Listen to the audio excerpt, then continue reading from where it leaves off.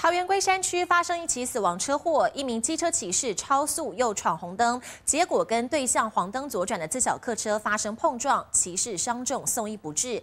另外，在花莲寿丰乡则发生了三车连环撞的意外，一辆影车因为没有注意路况，撞上前方准备左转的轿车，强大撞击力道，轿车的车尾直接开花，还撞向对向修旅车，还波及到另外一辆车。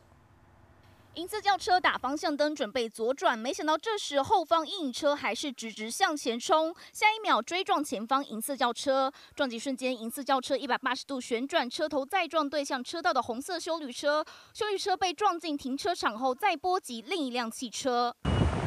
车祸意外发生在花莲寿丰乡二十四号下午四点多，影车驾驶行经台十一线十二点八公里处时，疑似没注意前方车况，酿成连环撞车祸。事故现场一片狼藉，银色轿车车尾严重凹陷变形，车门也被撞掉了，零件掉落满地。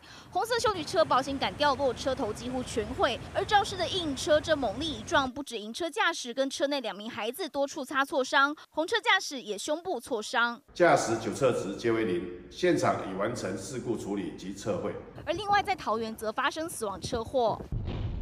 哎呦！十字路口银色轿车黄灯左转，没想到这时对向车道机车高速直行，下一秒两车撞上。